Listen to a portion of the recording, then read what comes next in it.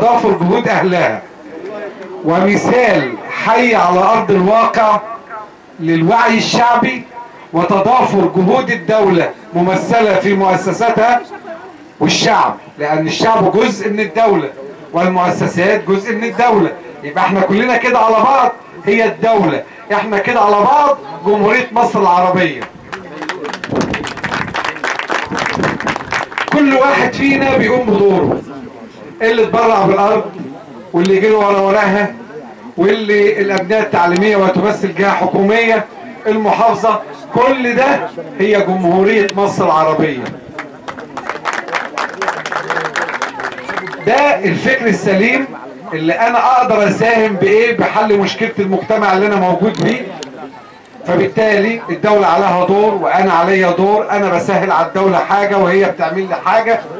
ما اقفش متفرج على الدولة ومستني إنها تعمل لي كل حاجة. الحقيقة تاني مرة أتواجد في برق العز وكله كان مثال حي للوعي والإدراك والمسؤولية.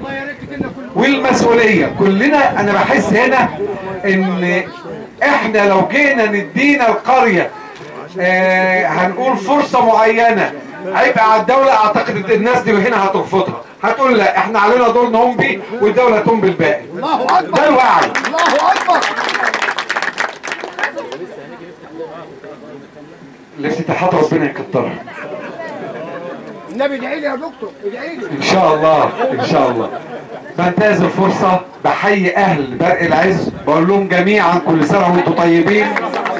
وللمرة الثانية بنقل لهم تحيات فخامة الرئيس عبد الفتاح السيسي.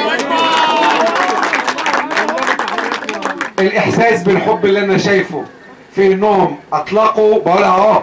لم يكن إطلاق اسم السيد الرئيس على المدرسة من منطلق حكومي وهو من عندي.